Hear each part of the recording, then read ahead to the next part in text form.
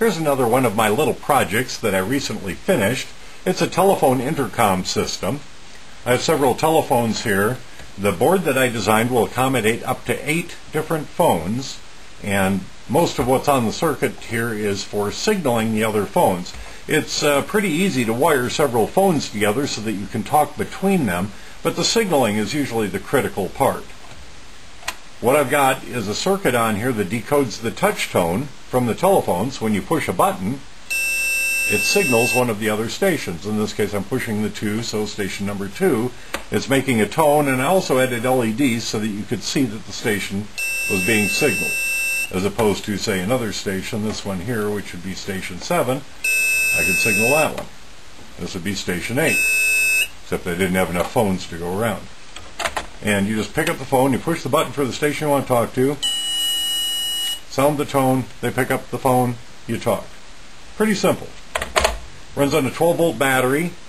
Uh, you could probably have a couple of miles of line between the unit and the station, so you could have it at the neighbor's house, the barn, the garage, the workshop. Make use of that uh, telephone wiring that's in your house. A lot of people don't have phones anymore, but you still have the wiring. If you built something like this, you could have phones in each room and just use it as an intercom to call somebody to you know, come to dinner or whatever it is. Uh, the battery draw is about 50 milliamps when the system's in use while you're on the phone and talking.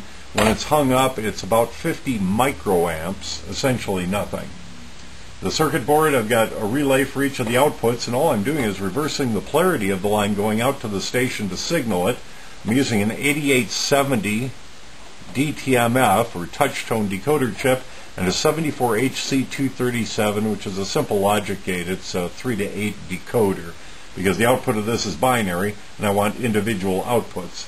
And I added some LEDs onto the board so you can see as I go through the stations.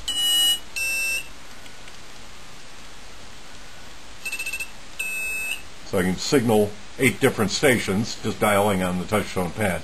Number seven chattered because this phone is hooked to port number 7 and when I push the button the thing decodes the tone, it reverses the polarity um, going to the station and also disconnects it from the talk bus and that's how it signals and makes the sounder operate and lights the LED but it's no longer on the talk circuit so it releases. But then when it goes back on the talk circuit it turns on again. So if you try to call yourself it'll chatter on any of the phones. If I'm on this one I call one it'll chatter but normally you wouldn't do that. You'd be calling station 2 or station 7 or whatever. And then to go a step further, I took a cheap cordless phone that I picked up and I modified it. Most of these phones have the handset find button or the page button, depending on what they called it. And I wired uh, this up with a relay inside the handset so that when the reverse polarity comes across the line, it triggers this button so that I can pick up the phone hit 4, and now this thing beeps. So I would know somebody was calling me.